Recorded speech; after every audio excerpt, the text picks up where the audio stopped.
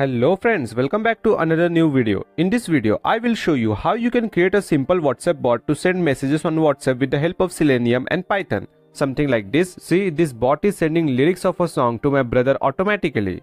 So, in this video, you will also learn how to use Selenium for web automation. So let's get started. First of all, you need to make sure that you have logged in your WhatsApp account in your web browser. As you can see here, I have logged in my WhatsApp account here. And after that, you need to download driver for your web browser that will be used to automate it. As you can see right now I am using Chrome. So I will simply search for Chrome driver download. See here, click on the first result that is from chromedriver.chromium.org. From here, you can download driver for your Chrome browser. As you can see here, there are so many types of versions available here like 100 99 98 so make sure it matches with your chrome browser version as you can see right now my browser version is 100.0.4986 something like that. So make sure you download almost the same version to avoid any errors. As you can see right now it is .75 but it is .60 but it is okay. That much difference. So simply click on it and then you will be redirected here. Here we are using windows so we will click on this chrome driver win32.zip to download it. It is of 6.10 mb and it has been downloaded after the downloading is finished make sure to extract this zip file in the same folder that you will be using to code the whatsapp bot. That is because we need to provide the path for this chrome driver and if it is in the same folder it will be easy for us. So I will extract it in my local disk D and then in Python and then in this small py project. I will be coding that bot in that same folder say it is extracted now here chrome driver.exe now let's let me close everything and then open my vs code and this is our whatsapp and this is our Visual Studio Code. See, I have opened the same folder here that is small py project. The next thing that we need to do is to install Selenium. So for that, all you have to do is to type pip install Selenium in your terminal. Make sure Python and pip is properly configured in your system. See, all you have to do is to type pip install Selenium to install Selenium. And as you can see it is already installed in my system so I don't need to install it again.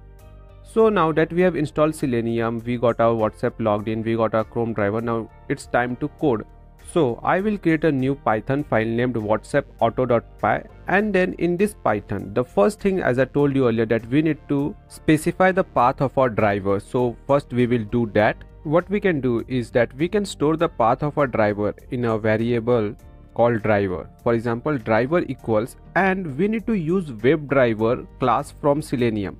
So for that we need to first import WebDriver from selenium. So on the top of a file type from selenium see from selenium import WebDriver we are going to import WebDriver and then you can use this WebDriver see driver WebDriver and dot chrome. Since we are using chrome so type WebDriver dot chrome and then the path of your WebDriver since it is in my same directory so i will just type the name that is chrome driver dot exe.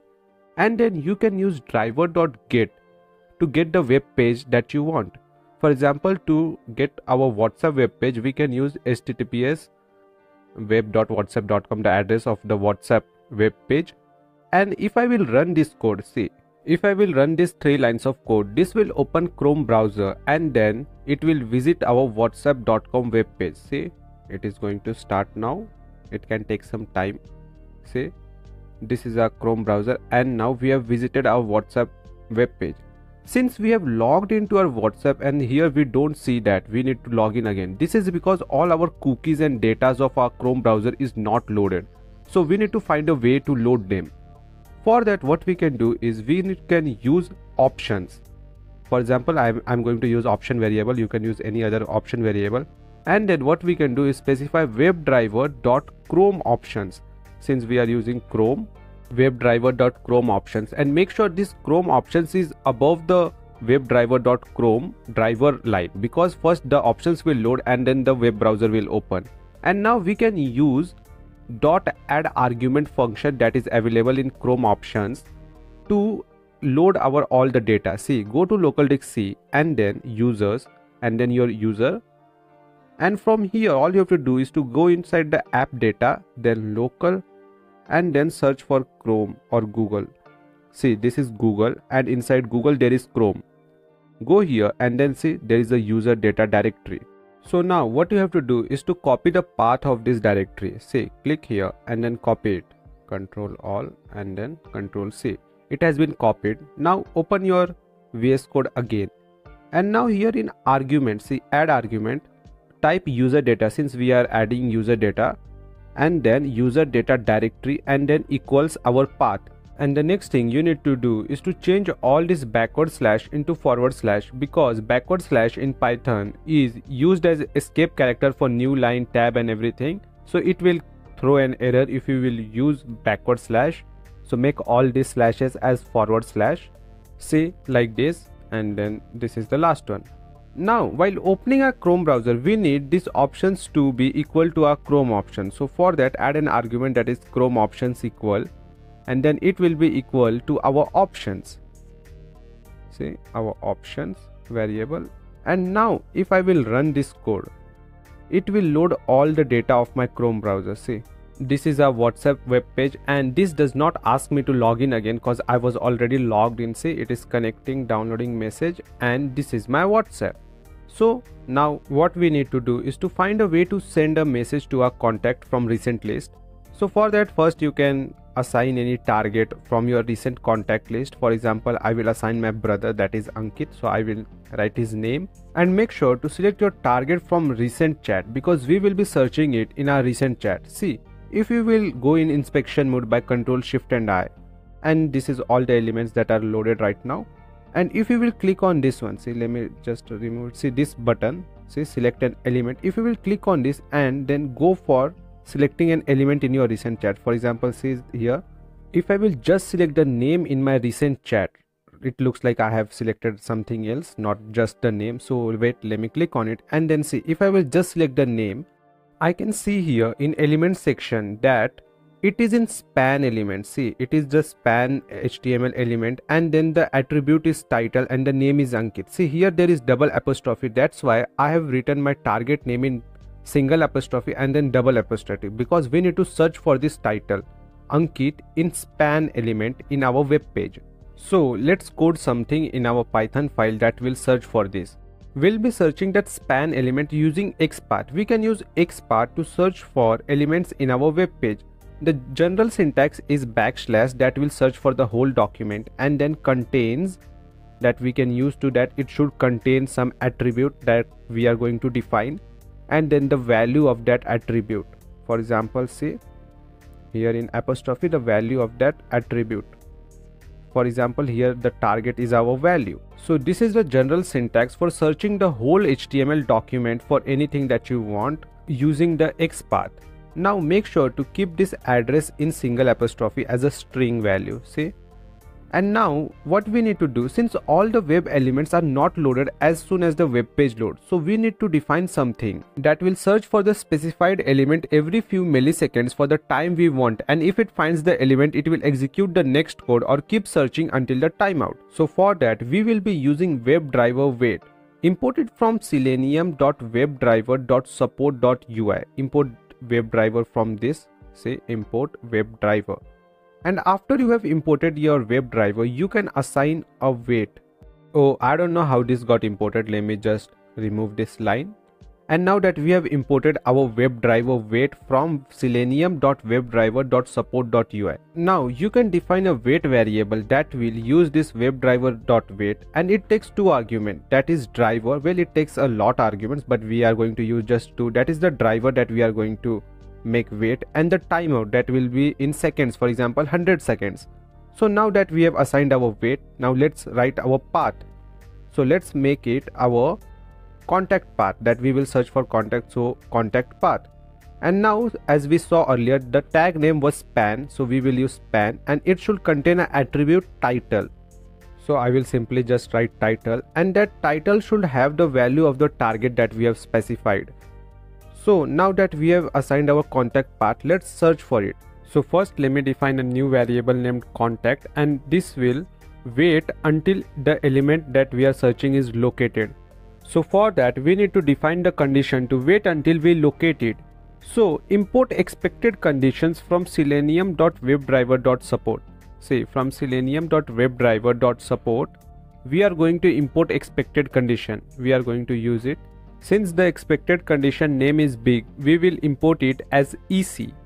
And then we will import by to search for an element by XPath. See from selenium.webdriver.common.by import by. This will help us in searching for an element using XPath. Now that we have imported everything that we need, let's write our code. See, wait until our expected condition that is presence of element is located and it will search using the XPath. So by and then dot XPath and then we need to give our path that is contact underscore path. This will search for the contact that we are searching and then after it is located what we want is to click on it. So I will do contact dot click to click on it. And now if I will run this code you will see that my my brother's chat will be automatically opened after we go to our whatsapp.com page see organizing messages. And as you can see here my brother's chat is open. Now let me show you what happens if you don't use that contact dot click see if I will remove this contact dot click let me just comment this line. And then after I run this code again this is our whatsapp connecting downloading messages organizing. And here as you can see it is not clicked on my brother's chat or any other chat. So we need to use that contact dot click to click on the chat that we want after we click on our target contact what we want is the location of the message box set. Since no matter what our target is the message box position will be same for every chat. So hover your mouse on it using in inspect mode and then you will find its address and what you have to do is to simply copy the x path of that element your message box element. And what you have to do is to specify a new variable named message box underscore path and then paste that address that you have copied the x path from the message box chat using inspect mode. I don't know how it was cropped in my video so I couldn't show you properly. So for that I apologize. And after you copy the message box path the next thing we need to do is to define our message box variable and it will contain the same code that we used the, for the contact variable. See just for the searching we will use the path message box path. It will be the same as our contact variable and after it is found our message box what we want is we want to send something. So for that we want to import another thing that is keys because enter key sends a message so we will be using that enter key. So for that import key from selenium.webdriver.common.keys and now after our message box is located what we want to do is to message box dot send keys. We are going to use this function dot send keys to send our message so let's write our message for example hello. And then after that it will press the enter key. So keys dot enter to press the enter key. And now it should send hello message to my brother. Let's try it. And here is our whatsapp. Connecting organizing messages. And the message has not been sent. There is some issue. That is i have used send key not keys. But first let me define our target in a variable named text that is hello. And then we will change it to text here text plus keys dot enter. And then let me fix it send keys. And now it should send hello to my brother. This is our whatsapp connecting organizing messages and the message has been sent but we cannot saw it. I see it after clicking on that refresh button see hello has been sent. Now we can loop it as many times as we want.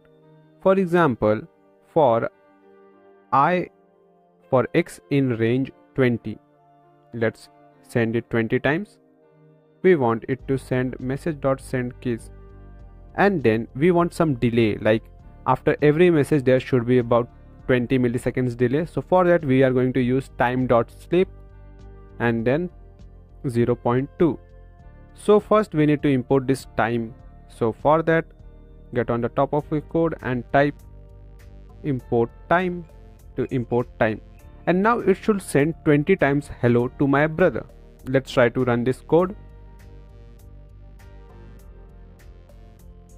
And here is our whatsapp connecting organizing messages and hello hello hello hello hello. So this is how you can automate your whatsapp with the help of selenium. It is so simple and easy. And the video that i showed you earlier was from this code. See here what i have done is I have imported lyrics.txt file and I have made list of strings of less than 20 words from that lyrics.txt file and I loop that list here to send the lyrics to anyone that I want for example my brother and it was a rap god lyrics so let me show you it will go to my brother and look I was gonna go easy on you not to hurt your feelings but I'm only going to get this one chance I will upload both of these files on github and I will provide link for that repository in description so check out description for these files. I hope you have found this video informative. I will see you in next one.